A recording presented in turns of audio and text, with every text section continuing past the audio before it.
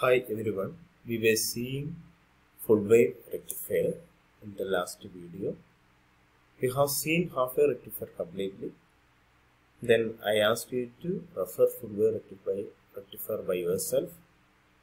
I think you are clear with the full wave rectifier, center tap rectifier. We are going to see the full wave rectifier using bridge circuit. So this is the bridge circuit. The circuit arranged in this fashion, it is known as bridge circuit. You may study the same circuit in plus 2 and normally we are using to measure the resistance by using Wheatstone bridge where we are using the principle of bridge circuit. The same bridge circuit we are using here and how it is working. This bridge circuit, how we are getting the this bridge circuit we are using to get the alternating current to direct current or unidirectional current. So how we are getting that one we can see here. So take this one. See in this case you are applying a sine wave at the input side.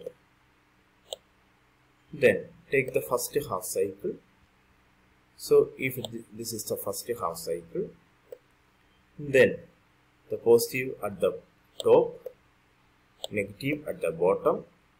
So you are getting this one like this. Okay. Then next one, the transform transform the same positive to here, negative to here. Then you can see this positive comes here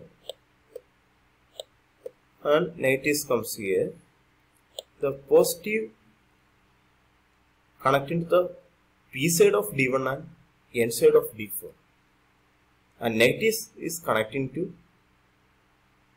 n side of d2 and p side of d3 and there's a chance this positive the d1 the negative of d1 can connect with the p side of d2 through this RL.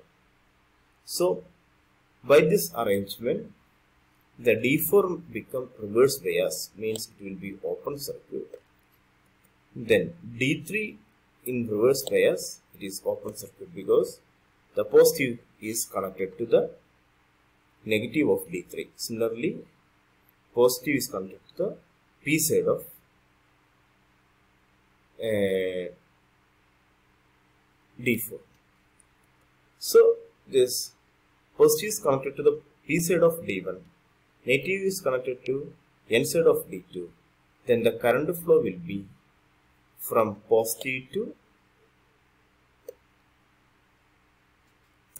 pos positive to D1, then D1 to RL, from RL to D2 and this coming to transformer. So the current flow will be this direction. Okay and we can mark their current flow like this. That current flow like this.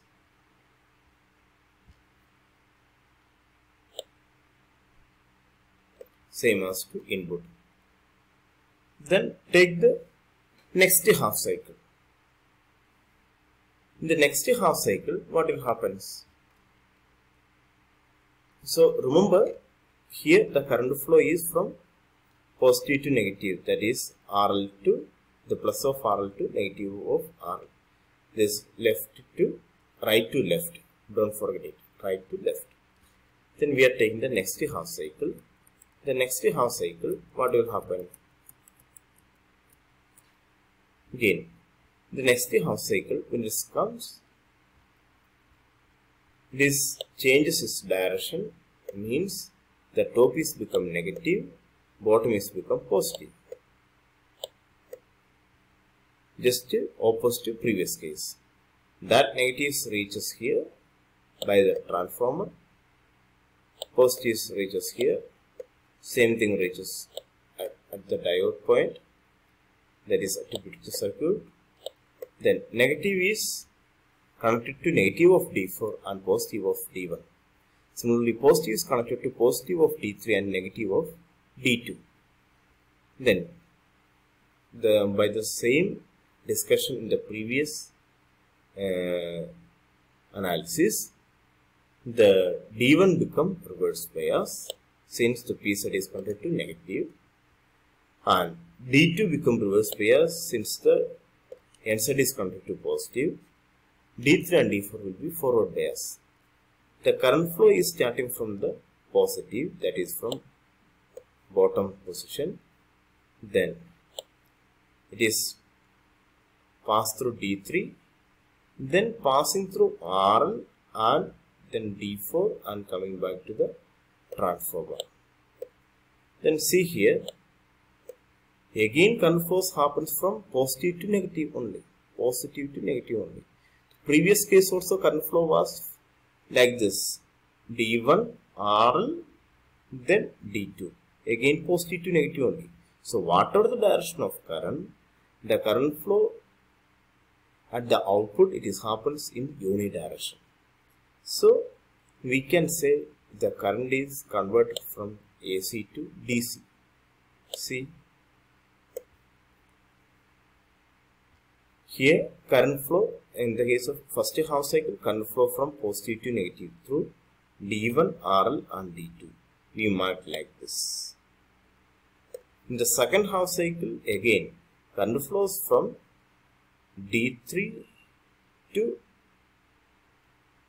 D4 through RL and the direction is from positive to negative the same direction of previous case so again we can mark is same direction so whatever the direction at the input? The direction at the output will be unidirection this is the working of full wave bridge circuit. So we are getting a DC signal at the output side. So the detail you can see here the same thing what we we were explaining that you can see here.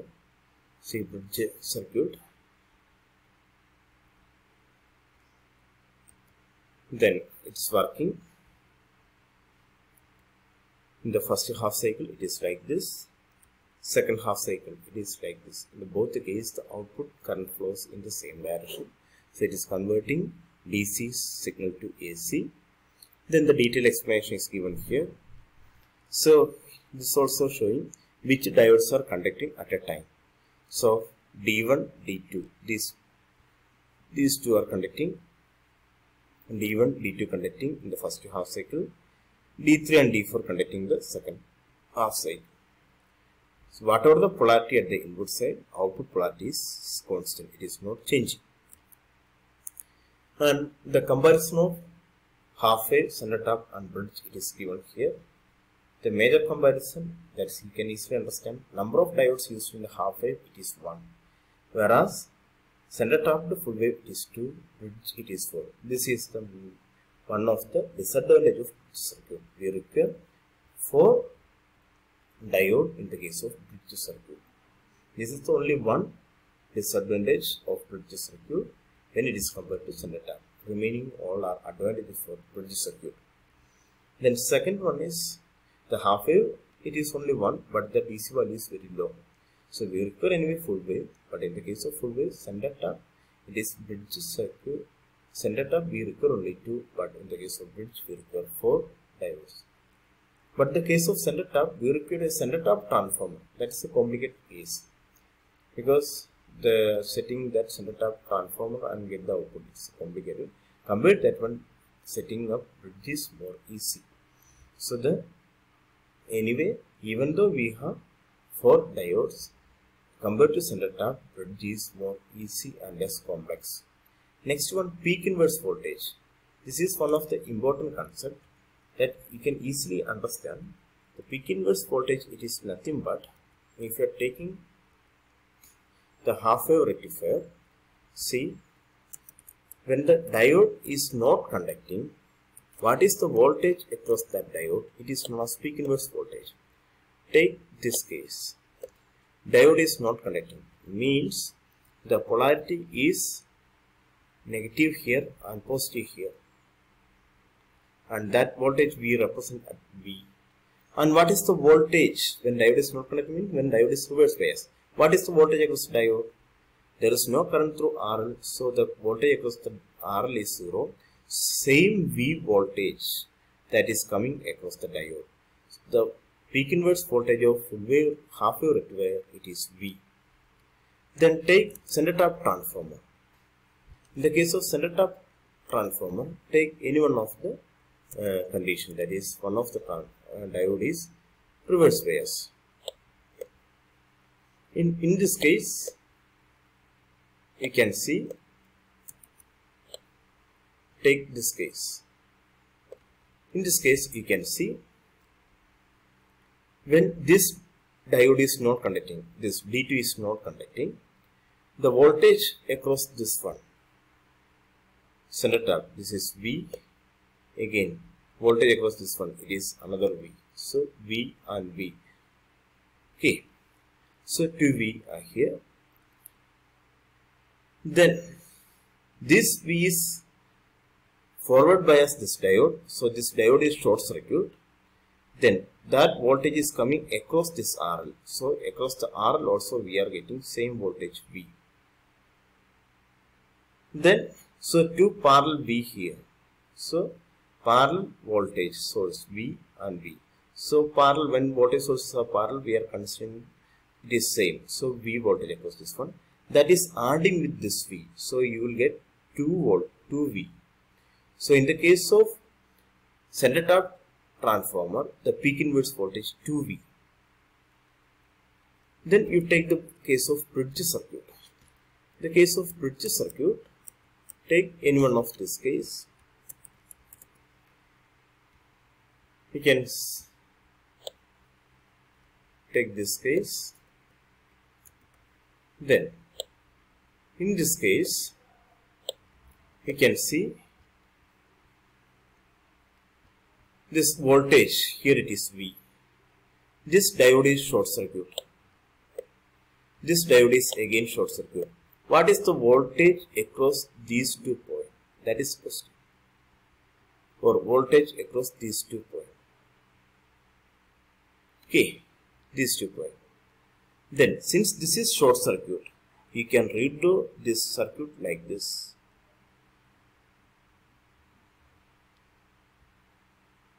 Is like this. Then this point is this one, diode is short circuit. The resistor will be like this. Again it is like this. So this point plus is here.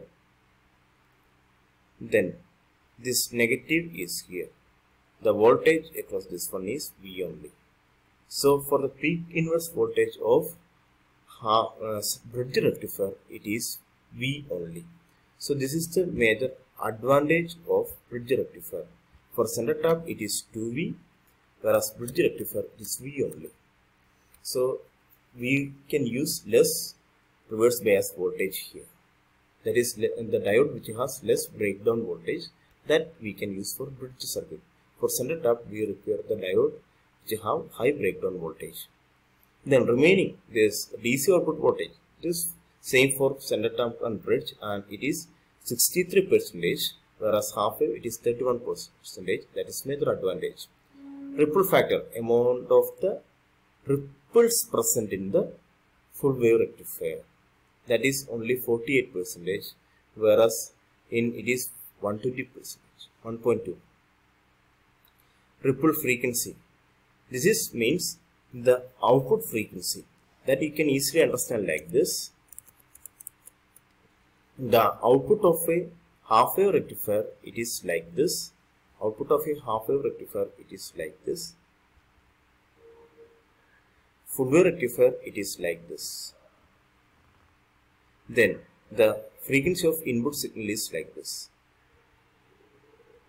for one frequency we have two frequency here.